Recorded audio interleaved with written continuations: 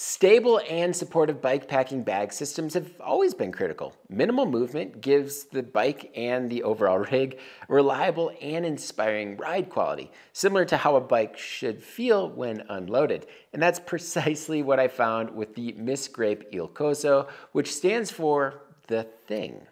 Let's get into it.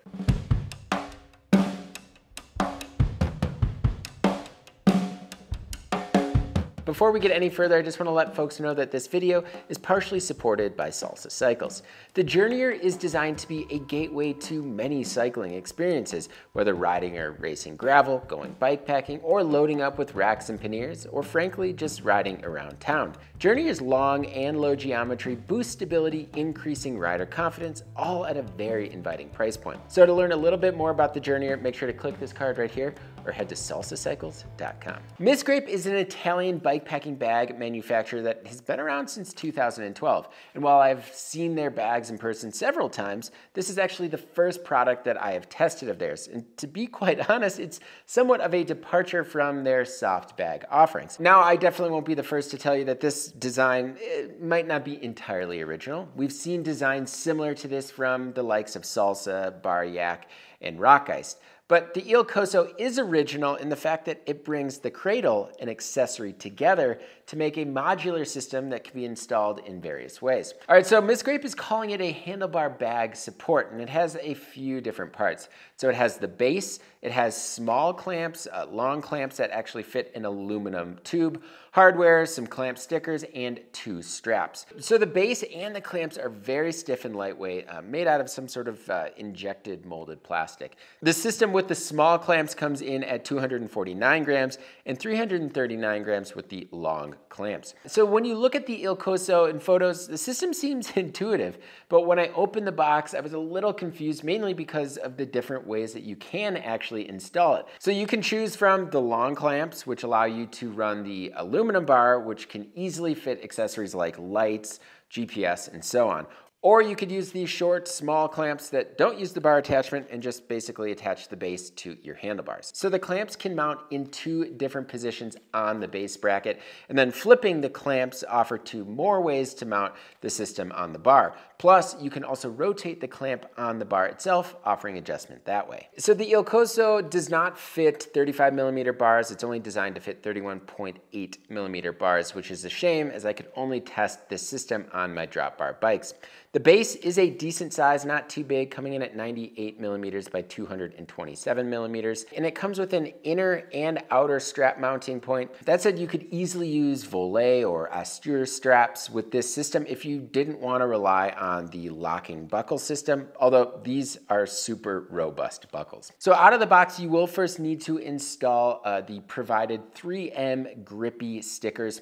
These essentially help keep the bar in place, and while they work to a degree, I still had the system shift over time, but nothing drastic. Miles and Logan both also tested this system, and they ended up using the long clamps with the aluminum crossbar and really liked the additional storage for other gadgets. But the beauty here is that you don't have to use this system, and I found that the short clamp uh, suited my needs perfectly. I'm pretty simple regarding my cockpit. I don't really like too much going going on. Plus, I typically end up using uh, this handlebar pocket that holds my DJI Mini 3 drone, which kind of takes up a bit of space up front anyways. So when I was installing the system, my goal was to keep the weight low and as close to the head tube as possible. That way, the weight was mainly supported and so I could still see my front tire and what was ahead of me. This can be accomplished in a few ways and can easily be adjusted to kind of work around your cable and housing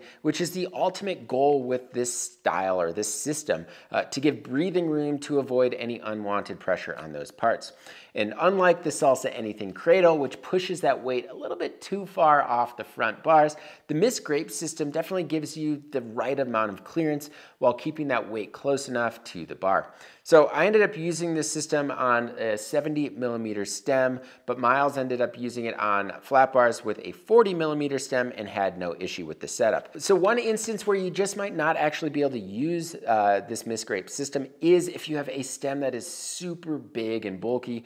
Uh, that being said, every stem that I actually tested this on, I have a bunch of stems in my stem collection, it ended up working. So installing the longer clamps, uh, it allows the same modular system, but by flipping flipping the clamp, you will find that the aluminum accessory bar either sits higher or lower. Either way, both clamp systems use uh, four M4 by 20 millimeter bolts. So I installed the straps in the inner position, which seemed to work really well, but I also used this system with the previously mentioned older bedrock pocket, attaching that pocket to the outer uh, strap mounting points on the base. Uh, this basically allowed the system to be even more secure. That said, Logan tested it in the outer position. Logan actually ditched the regular straps right away for some Voile straps, while Miles used the provided straps, and he mentioned that it works better for uh, larger bags or heavier loads. When I found the orientation that worked on my Otso Fenrir, I really didn't touch it too much after this. Miss Grape did send uh, the system with a six liter bag, which was far too small for even me, a relatively light packer but perhaps they meant to send uh, maybe an 8 liter or that 16 liter bag. So I ended up using the Rogue Panda Gila dry bag uh, with this system and it worked great, but any dry bag will definitely get the job done. There are definitely a few things that I really, really like about this system. First being it's a harness. So it's super easy to install and uninstall your dry bag uh, using the two straps. These two straps are pretty easy to tug on to tighten down, uh, and then the locking buckle definitely keeps things in place. Plus the base of this system uh, is kind of rounded. It's ergonomic, so to speak. So it really fits uh, the dry bags really nicely. So another thing I really liked about this system was the supported feel while riding. You knew what you were gonna get. There wasn't gonna be much movement up front. And yes, the system did shift a little bit, a few millimeters, I would rotate it downward uh, closer to the head tube. That being said, it still did clear the head tube. All right, so the simple two point connection around the handlebars means that there's no need to attach anything around a head tube or a fork crown like many other systems out there. I guess the only concern is that there's only two small bolts that hold the entire system from the bars to the base, uh, but we've had no issues with that thus far, but it might be a good idea to just carry an extra bolt. So I ended up abusing this system quite a bit over my last few trips, likely more so actually using a rigid fork, and I'm really pleased with how it's held up. Overall, I'm actually a really big fan of the Il Coso. It takes cues from a variety of different systems and puts them into one super light and functional handlebar system that works in various ways and keeps the weight from moving around, uh, which definitely gives me a more consistent, secure, and reliable feeling up front. Uh, I do, however, wish that it came in a 35 millimeter bar option. So the Il Coso comes in at 140 USD, which definitely might be a little expensive considering that it actually doesn't have any cargo capacity. All right, so what are your thoughts on the Miss Grape Il Coso? Let me know in the comment section below. And if you like what you saw in this video and want to see more like it, definitely hit that subscribe button and notification bell. And consider joining the Bikepacking Collective. Support from our members helps sustain this channel and really everything we do here at bikepacking.com. The collective has a lot of perks, including the twice annual Bikepacking Journal. So to learn a little bit more, definitely click on the card in your top right corner or also find a link in the description below.